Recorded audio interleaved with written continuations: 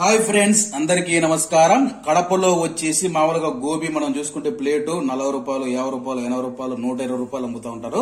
కానీ కడపలో గోబీ వచ్చేసేసరికి మనం చూసుకుంటే ఈ యొక్క చిన్న ప్లేట్లో మనం చూసుకుంటే పది రూపాయలకైతే ఇంటింటి దగ్గరికి వచ్చి మామూలుగా అయితే పిల్లోళ్ళు ఉంటారు కదా పది రూపాయలు ఇచ్చేసే ఈ క్వాంటిటీలో అయితే మనకు గోబీ పెడతా ఉంటారు.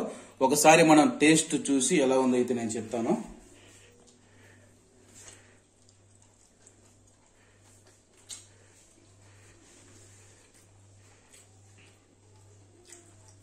నిజంగా అయితే మనకు షాప్లో ఎట్లా చేస్తారో నిజంగా అట్టే ఉంది. పది రూపాయలు కూడా మనం గోబీ చూస్తే గానీ చాలా తండ్రిగా అయితే పెట్టినాడు. వేడి వేడిగా నిజంగా సూపర్గా అయితే ఉంది.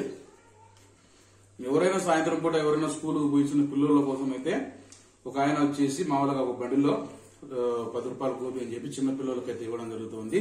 ఎందుకంటే మనం ఎక్కువ తీసుకున్నా గానీ పిల్లలు తినరు కాబట్టి మంచి క్వాంటిటీలో మంచి క్వాలిటీతో అయితే గోబీ అయితే ఇవ్వడం జరిగింది.